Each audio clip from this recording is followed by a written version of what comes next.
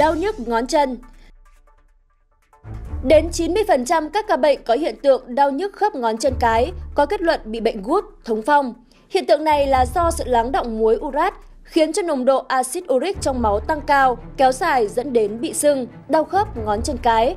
Do ngón chân cái là nơi dễ bị lắng động muối urat nhất, nên đây thường là nơi phát bệnh đầu tiên. Biểu hiện bệnh dễ nhận thấy là bị đau nhức, nhất là về ban đêm.